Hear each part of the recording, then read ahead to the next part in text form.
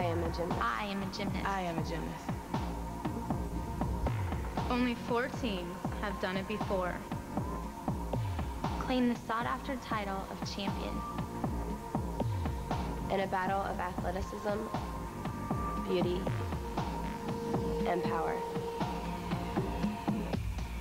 Four inches of wood. 17 meters of floor. Can mean the difference between victory and defeat. It's about the heart of past champions. And the medal of rising challengers. I am a gymnast. I am a gymnast. I am a gymnast.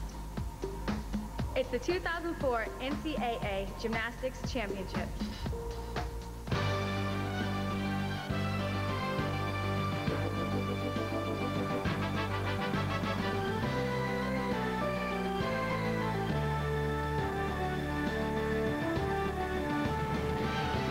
To the 2004 Women's NCAA Gymnastics Championships. We join you from Pauley Pavilion on the campus of UCLA.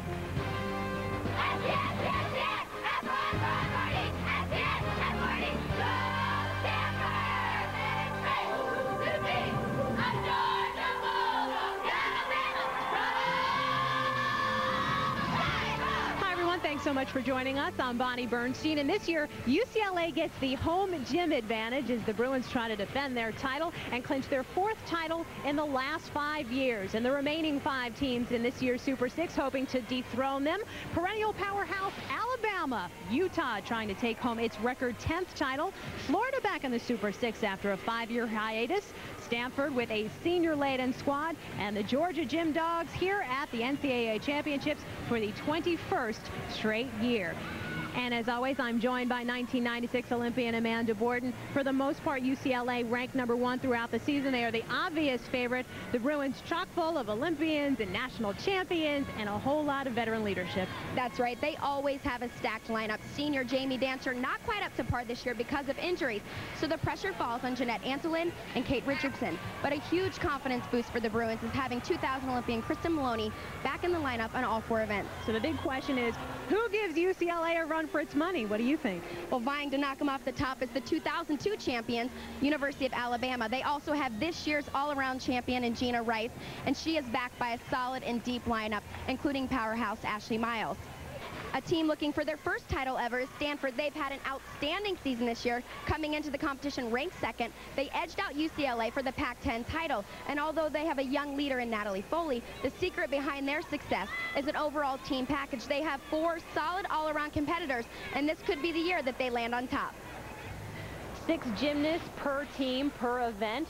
The lowest scores drop, so squads have one and really only one mistake to make if they want to stay in the thick of things. Alabama begins this competition on vault, Utah on bars, Stanford on beam, UCLA on floor, and a little bit of history being made at this year's NCAA championships. All four events held on elevated podiums for the first time, very similar, Amanda, to the Olympics and the U.S. and World Championships. Well, it does have a much more formal feel. As far as the effects, though, all of the events will have more bounce and spring, and it can be both good and bad depending on how the athletes handle it. Greg Marsden with a little bit of spring in his step as his Utes posted the highest score among all six regional championships. And Dominique D'Oliveira gets things started on bars for Utah. Dominique hailing from South Africa, where her mom, Catherine, traveled all the way over to the States from just to watch her daughter compete. Dominique is a very aggressive bar swinger. She moves into a release sequence right here. Great amplitude on the ginger. Nice form. Oh, you can see, oh. Oh, she tried to save it. Shoots a handstand there. Trying to hit the handstand, which is very important, and just got a little too much swing.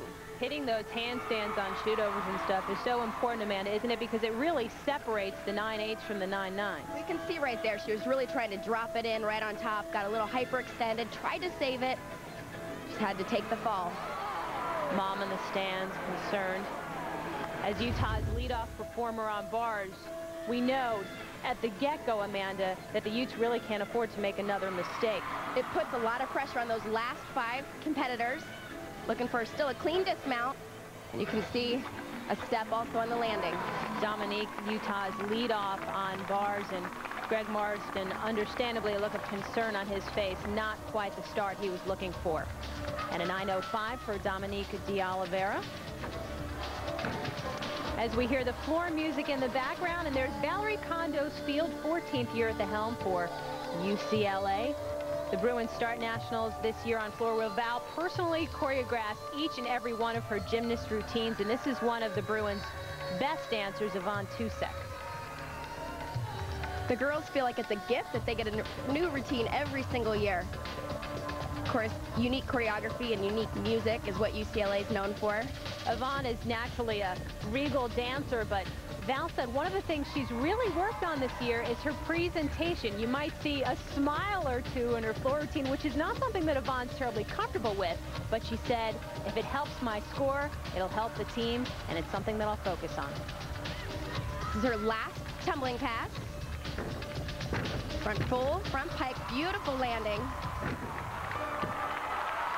Yvonne is not the lone Tousek in this year's Super Six. Her sister Chantel is a freshman at Florida, so her parents coming down from Canada get double their money's worth, which is not a bad deal. and Yvonne Tousek, a 9-9 for the UCLA Bruins. Kristen Smyth, what an amazing job she's done with Stanford. She arrived in Palo Alto in 2001, took them to the Super Six that year. This year, a record-setting season. The Cardinal 20 and 3, winning both the Pac-10 and the regional championships. As we join Natalie Foley in progress on beam. This can be a very difficult event to start out on. Not only that, but then you have the home team on floor making an awful lot of noise. Takes a lot of concentration. There's a lot of adrenaline coming right out into the competition. Got to control it on this event especially. Our gym series, our leap pass, switch leap, straddle jump, straddle jump, showing great flexibility. Leap series, one of the several requirements on beam. And Bonnie, she has a very difficult dismount. Quite often in college, we see the more simpler dismounts looking for a stick. Performing a round off double tuck. Beautiful. Wow. Very difficult to stick a landing like that. Well, athletics certainly runs in the Foley family. Natalie's father, Steve, was a defensive back for the Denver Broncos as we see a 9.875 for Natalie and Sarah Patterson now. Her 26th year, she's guided Alabama to four national championships, 19 regional titles, five SEC titles. And this year, her cornerstone, a senior hailing from Longwood, Florida, Jeana Rice, now up on vault. Jeana, not surprising anyone coming into these finals, as she is the individual all-around champion. Wow. And the ever most common Yurchenko full now with the new horse. Didn't quite stick the landing, but beautiful height. Yeah, we'll see that vault a few times, or 10 or 20 throughout this competition, and a 9-9 for Jeana Rice. UCLA's Kristen Maloney, and Amanda, I think you'll agree with me, it's strange to see Kristen in a leotard simply because for the last two years, she's been out with a stress fracture. She's had four surgeries on her shins, but finally, Kristen Maloney is back. Almost everyone didn't think I'd be back at all. My coaches included, like everyone, my family, doctors, my coaches, my friends, like everyone didn't think I'd come back. So being able to come back, um, it's just the greatest feeling ever. It just makes me appreciate gymnastics a whole lot more. And when you think about what Kristen's had to overcome, her father was diagnosed with non-Hodgkin's lymphoma back in 2002. So all of these emotions that Kristen had to cope with. Watch this first tumbling pass. Beautiful double layout. Very nice. She's not only amazing just at being back here in this sport, but she tumbles like she's never left it. You think she's at full strength? You know, as a viewer, she definitely looks like it. I don't see how you wouldn't think that. In fact, Val feels like she's even stronger now. Second tumbling pass, whip, immediate double pike. Beautiful landing.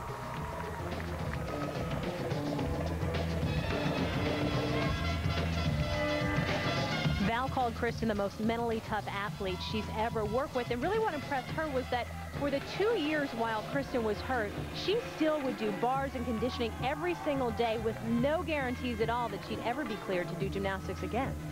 Well, and I can relate to that situation, although I never had a two-year break. Sometimes injury time is the best time to get physically strong, but more importantly, mentally tough.